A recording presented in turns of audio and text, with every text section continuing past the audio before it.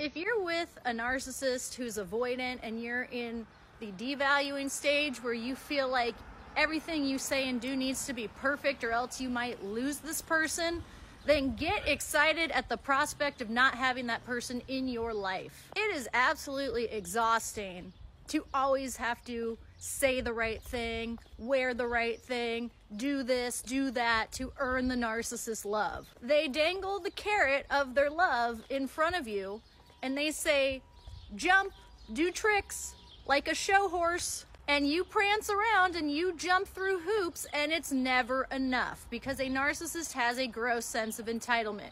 You could take them to the best restaurant in town and they will ask you, Why didn't we go to this other Michelin restaurant? Why did you take me to this restaurant? You will never feel a level of appreciation that comes from somebody who genuinely respects and loves you.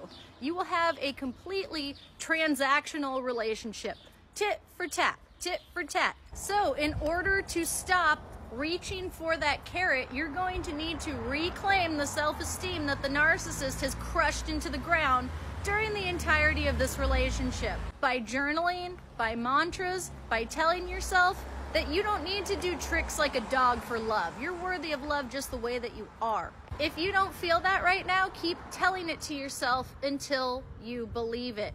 But I gotta tell you, you're gonna believe it a lot faster if you get out of the relationship with the narcissist and go no contact.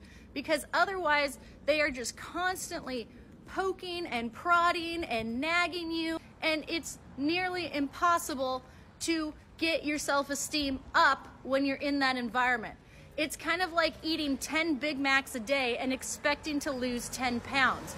You just can't make the progress that you need to make in order to be healthy. Be okay enough with yourself that if you have to walk away for good, you know that you are an awesome and worthy partner and you have great qualities within you that you will bestow onto somebody who is worthy of it, not to somebody who abuses you and continues to go around in this toxic loop with you over and over again.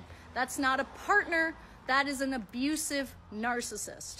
If you would like remote narcissistic abuse recovery coaching, you can email me. My email's in my bio.